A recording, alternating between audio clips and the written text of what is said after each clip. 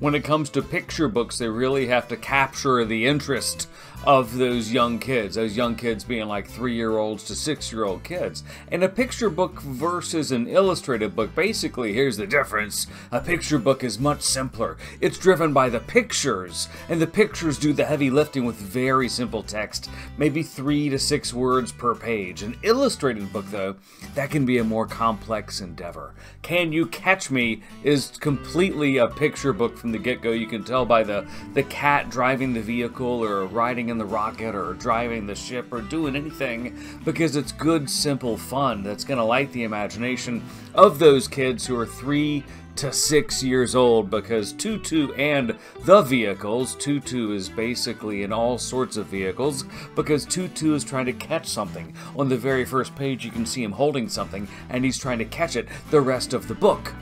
He's chasing it. The cat is chasing something. I'm alluding to the answer.